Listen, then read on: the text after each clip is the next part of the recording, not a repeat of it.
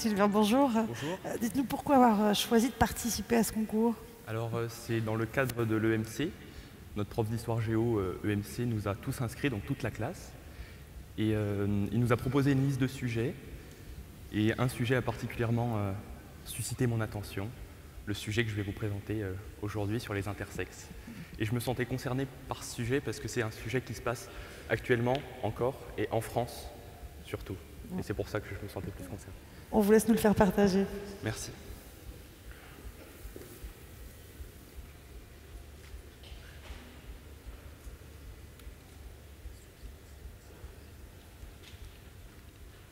Quand j'avais 7 ans,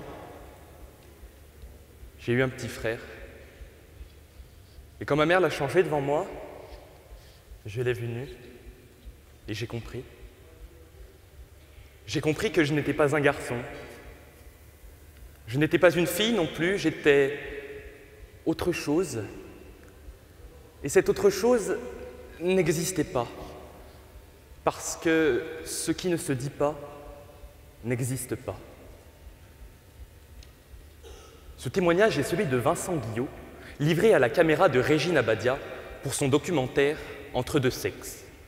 Aujourd'hui âgé de 54 ans, il n'est né ni homme ni femme, ou à vrai dire, aussi bien garçon que fille. Mesdames, messieurs, toute personne intersexe, membre du jury, je me présente devant vous aujourd'hui pour aborder un sujet occulté et qui concerne pourtant entre 1 à 2% des enfants nés chaque année en France. Je veux vous parler du sort réservé aux intersexes. C'est à la naissance que les médecins remarquent ce qu'ils appellent encore aujourd'hui une anomalie, une malformation ou même une ambiguïté. Pourtant, pour le professeur Blaise Mera, chirurgien pédiatrique au centre universitaire hospitalier vaudois, l'intersexuation est plutôt une variation du vivant, avec un large spectre de situations où la morphologie, les hormones, les chromosomes d'une personne mélangent masculin et féminin. Il ne s'agit donc ni d'une tare, ni d'une pathologie, mais d'une particularité. Quel sort réservé à ces enfants qui n'entrent dans aucune catégorie, ni fille, ni garçon En France, la réponse est claire.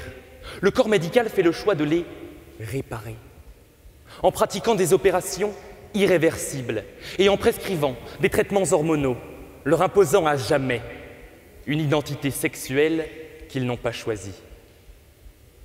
Par cette plaidoirie, je souhaite pousser un cri d'alarme.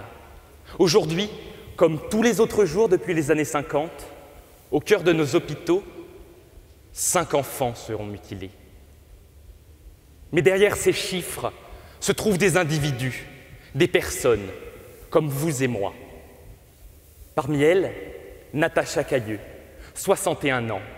Elle a subi à l'âge de 6 ans une première opération, avant de connaître pendant toute son adolescence un traitement à base d'hormones de croissance et de testostérone, dans le but de la viriliser. Alors qu'au plus profond d'elle-même, elle s'est toujours sentie fille. Quant à Vincent Guillot, il fut victime d'un véritable acharnement, subissant pas moins de dix opérations, aux lourdes conséquences physiques, psychologiques et sociales. À l'âge de 7 ans, les médecins expliquent à ses parents qu'il est impératif de lui retirer son utérus et de réparer ce monstre, cette erreur de la nature. Aujourd'hui, il ne peut plus uriner sans éprouver de terribles douleurs. Il ne peut pas se servir de ses organes génitaux pour avoir un simple rapport sexuel. Victime de lésions neurologiques, il est contraint de se déplacer avec une canne et doit prendre un traitement médicamenteux à vie. Au traumatisme physique s'ajoute le traumatisme psychologique et une précarité sociale. Il survit désormais grâce aux minima sociaux. Ces pratiques d'un autre âge sont révélatrices d'une binarité sexuelle. Garçon ou fille, fille. ou garçon, sur laquelle la société et la famille se sont construites. Celle-ci ne tient pas compte de la diversité humaine. Je souhaite donc interpeller les pouvoirs publics pour que cessent ces mutilations et que soit enfin respecté un droit inaliénable, le droit des enfants à l'intégrité physique et sexuelle. D'autant plus que ces opérations mutilantes et irréversibles sont inutiles, car la vie de ces enfants n'est pas en danger.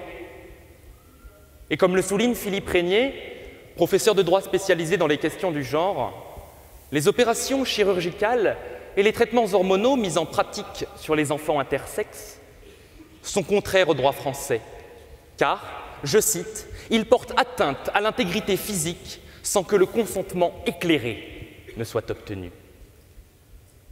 Il rappelle également que ce sont des atteintes frontales au principe d'autodétermination et de l'intérêt supérieur de l'enfant. Ainsi, la France viole, sans état d'âme, les droits fondamentaux garantis par la Déclaration universelle des droits de l'homme, dans son article 12. Nul ne sera l'objet d'immixtions arbitraires dans sa vie privée.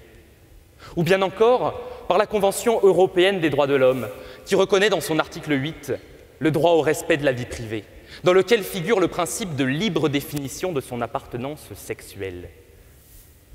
À ce propos, en 2016, la France a été condamnée par trois fois pour ces actes inhumains considérés comme des mutilations par le Comité contre la torture, le Comité des droits des enfants et le Comité pour l'élimination de la discrimination à l'égard des femmes. Le Comité contre la torture appelle la France à prendre des mesures législatives ou administratives nécessaires pour garantir l'intégrité physique des personnes intersexuées et accorder réparation à toutes les victimes. Sur le plan international, Human Rights Watch et Amnesty International, et en France, la délégation interministérielle à la lutte contre le racisme, l'antisémitisme et la haine anti-LGBT appellent à l'arrêt de ces pratiques. En mai et juillet 2018, la Commission nationale consultative des droits de l'homme et le Conseil d'État ont publié des avis dans le même sens. Malgré toutes ces condamnations, tous ces appels, la haute autorité de santé continue à faire la sourde oreille et incite les médecins et les familles à soumettre les enfants intersexes à des opérations chirurgicales mutilantes, sans nécessité médicale ni urgence vitale, et sans le consentement libre et éclairé de la personne. Pourtant, Pourtant, des solutions existent. Chez nos voisins suisses, le Comité national d'éthique recommande qu'aucune opération ne soit pratiquée sur des enfants intersexes avant qu'ils ne puissent se déterminer par eux-mêmes. En Allemagne, aux catégories masculin et féminin s'ajoute désormais la catégorie divers sur les certificats de naissance. Le législateur français doit donc se saisir rapidement de cette question pour que cessent ces mutilations et que ces droits humains soient enfin respectés. Le débat actuel sur la bioéthique et la mobilisation des associations a d'ailleurs permis de faire adopter un amendement en octobre dernier. Les médecins seront alors obligés d'informer les familles sur l'existence d'associations et le consentement du mineur doit être systématiquement recherché s'il est apte à exprimer sa volonté et à participer à la décision.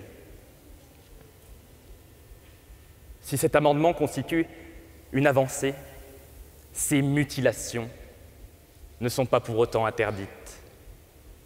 C'est pourquoi je vous invite à vous mobiliser et à signer la pétition sur le site stopmutilationintersex.org pour que cessent ces mutilations inutiles et qu'enfin l'enfant soit au cœur d'une décision qui lui appartient changer son corps ou non Être X, X, ou X, Y, ou X, X, Y. Je vous remercie.